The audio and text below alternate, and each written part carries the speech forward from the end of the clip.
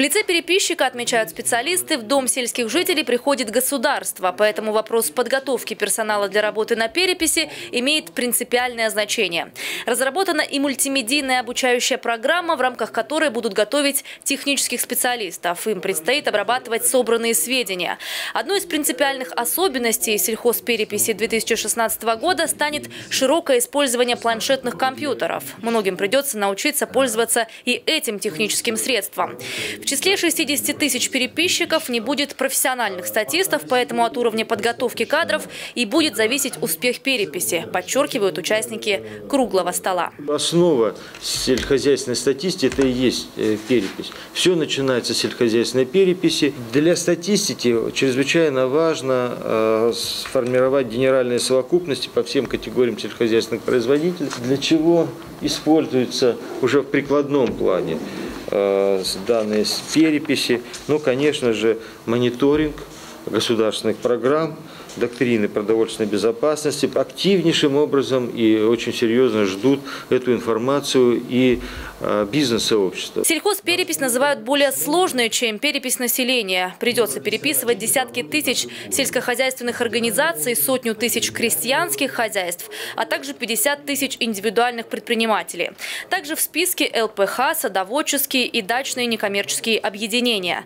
Стратегическое значение сельхозперепись имеет и для Краснодарского края который на сегодняшний день обрабатывает более 4 миллионов гектаров сельхозугодий и производит продукции более чем на 300 миллиардов рублей.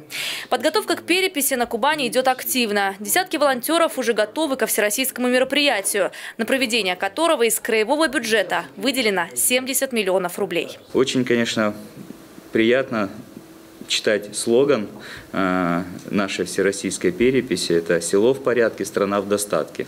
Это действительно так. То есть, опираясь на те конкретные цифры, которые даст нам вторая сельскохозяйственная перепись, мы сможем принимать стратегические направления, правильно распределять финансы краевого федерального бюджета на то, чтобы действительно э, вкладывать средства в те самые точки роста, где необходимо сегодня привлечения инвестиций. Сельхозотрасль – это приоритетное направление для Кубани во все времена, отмечает краевой чиновник. Сегодня здесь активно реализуется программа импортозамещения. Овощеводство, садоводство, животноводство, семеноводство, перерабатывающая отрасль – все это считается локомотивом агропромышленного комплекса края. Развиваются и тепличные комбинаты, аквакультура. Чаеводство набирает обороты, в том числе и благодаря сочинским плантациям. Кубанское значит качественно – это основной слоган, который которая сегодня стоит перед аграриями Краснодарского края. И наша задача именно в таком направлении двигаться.